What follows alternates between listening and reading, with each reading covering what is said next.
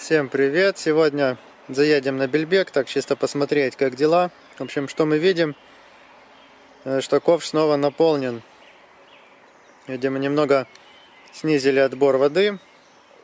И это позволило накопить, потому что сейчас идут осадки. И получилось накопить снова воду. Ковш заполнен опять э, практически полностью. Ну, чуть меньше, чем чем это было. Вот можем даже сравнить по переливу на плотине. Ну что, почти дошло до перелива.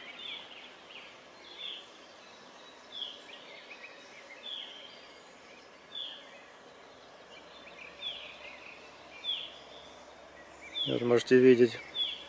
И смотрите тоже, кто вот говорил мне там, рассказывал, типа, ну, как уровень может быть выше, чем уровень верхней точки гребня перелива.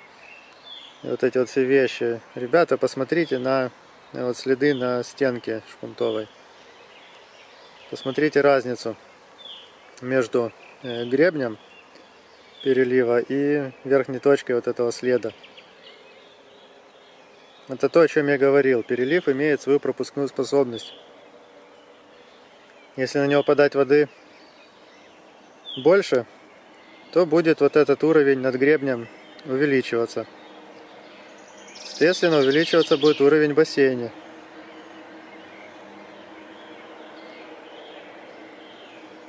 Какая-то такая вот ситуация.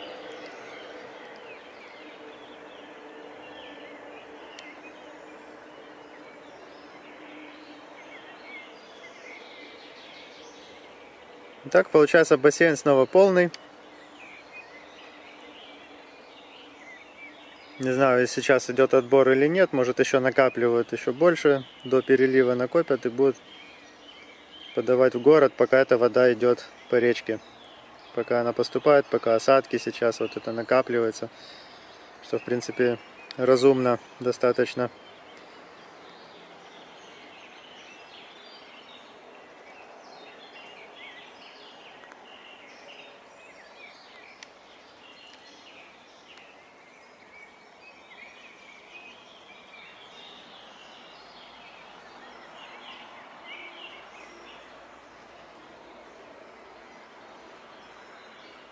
Ну так сегодня выглядит ковш, он снова полный.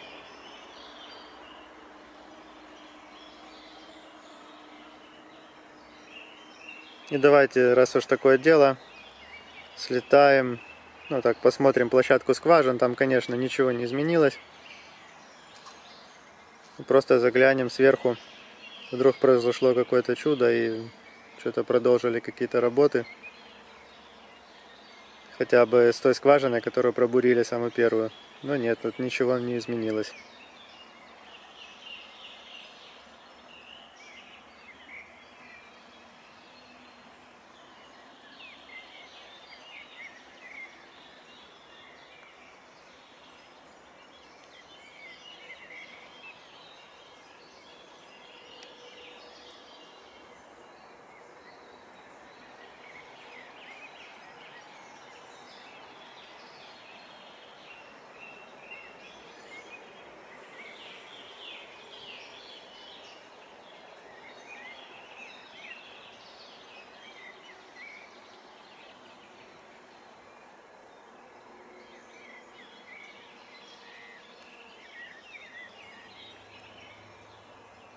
Опять мне повезло, тут я взлетел, такая пауза в дожде образовалась. Тоже кто-то мне писал, типа, что, что все стали жаловаться на дождь.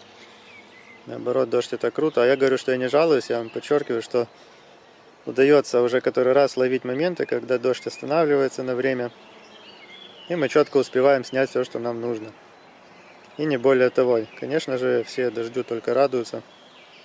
Вот смотрите, сколько воды э, удалось удалось благодаря дождю накопить. А бельбек уже начал как бы истощаться. А тут опять вот э, вода пришла. Давайте сейчас летаем туда вот вдаль.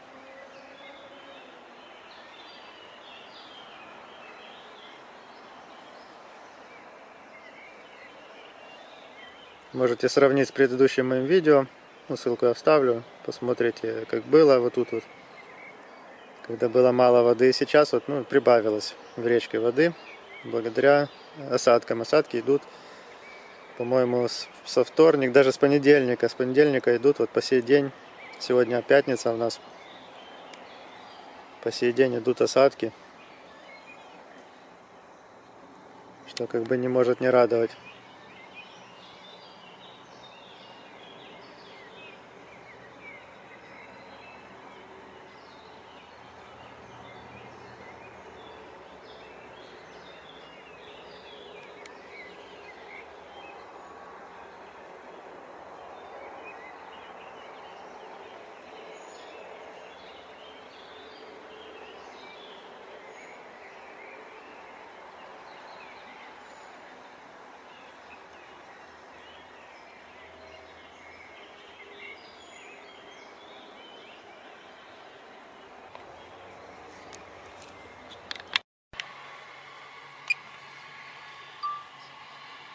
Так, мы переместились в поселок Орловка. Здесь идет строительство канализационных очистных сооружений э, рядом с существующими. Цель этой работы это увеличить производительность. То есть сейчас, на данный момент, производительность существующих сооружений 400 кубических метров в сутки.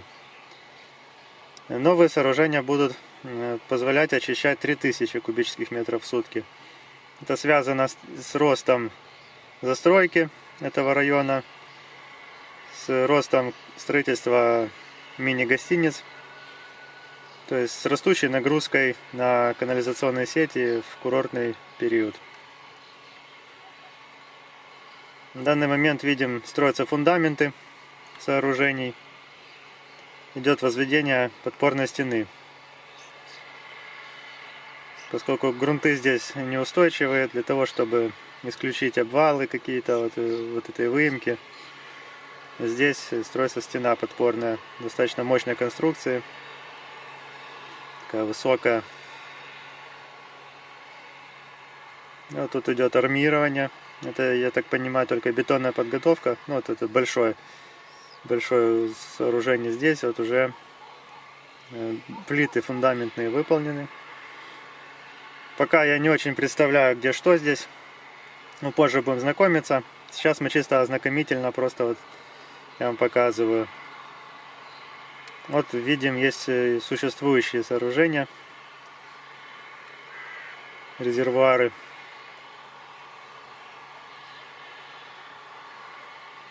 Они вот на данный момент функционируют.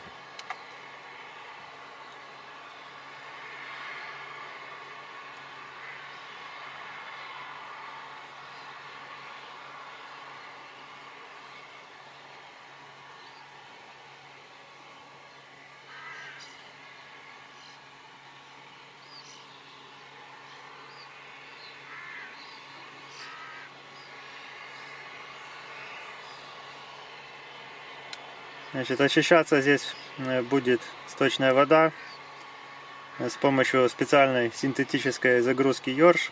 Это разработка компании Экос. Эта компания является и автором проекта очистных сооружений, и проектант, ну да, проектантом, как я сказал, и исполнителем работ. Очищенная вода с помощью вот этой загрузки Йорш может сбрасываться в рыбохозяйственные водоемы первой категории. То есть это является наивысшей степенью очистки сточных вод вообще в принципе.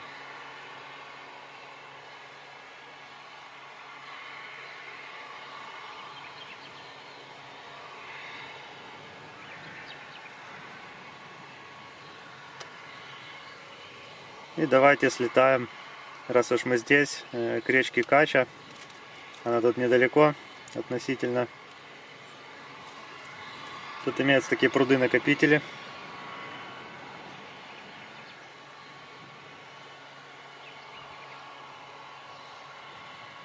Вот там уже Черное море, берег. Так, вот тут речка Кача.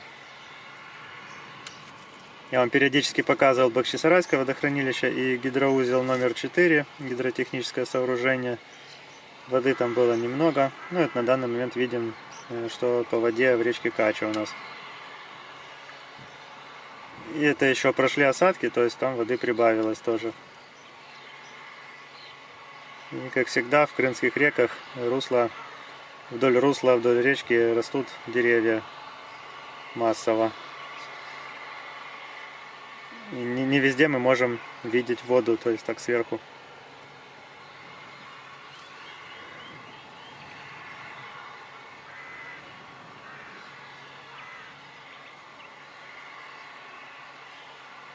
Вот, строятся очистные в рамках федеральной целевой программы.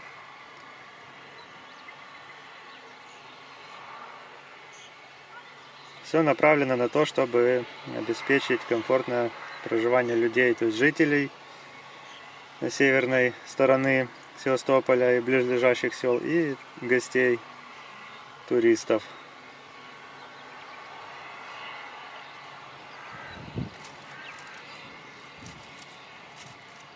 Вот этот объект издалека, очистные мы видим.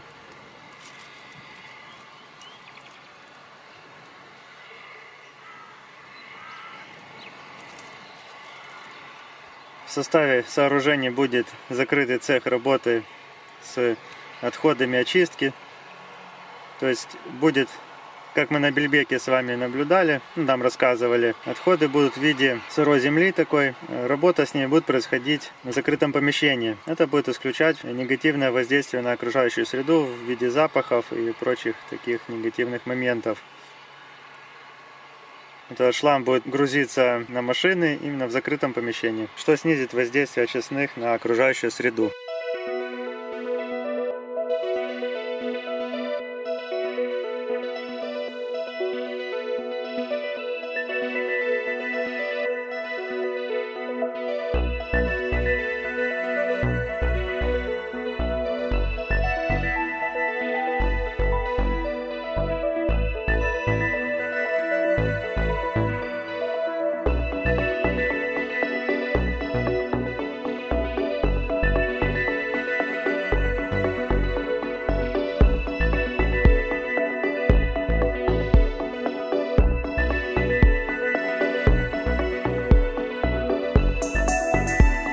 Ну, на этом у меня на сегодня все. Такой краткий выпуск.